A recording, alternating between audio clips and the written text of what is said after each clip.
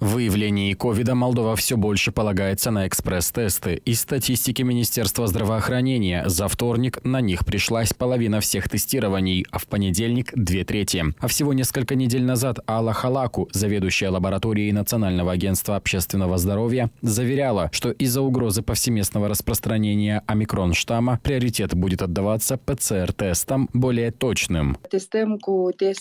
Если мы используем тесты, нечувствительные к омикрону, это это все равно, что мы вообще не проводим тесты. Это не имеет смысла. При таком количестве экспресс-тестов мы ниже предела обнаружения. Мы не выявляем всех. Международный эксперт в области охраны здоровья Алла Токарчук приводит в пример Приднестровский регион. В последнее время на него приходится почти половина регистрируемых случаев. Токарчук считает, что это связано с разницей в подходе к тестированию на правом и левом берегах Днестра.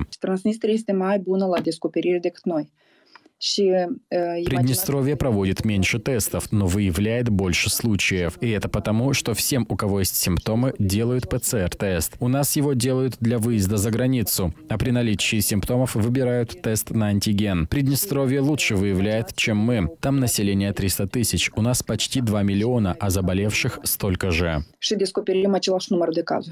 Мы попытались узнать в Национальном агентстве общественного здоровья, каким количеством экспресс- и ПЦР-тестов располагают власти, а также когда будут ввезены усовершенствованные тесты, чувствительные к омикрон-штамму. Но нам сказали задать эти вопросы на еженедельной пресс-конференции Министерства здравоохранения. И это при том, что по прогнозам экспертов, сразу после праздников Молдову может захлестнуть новая волна ковид-заболеваемости.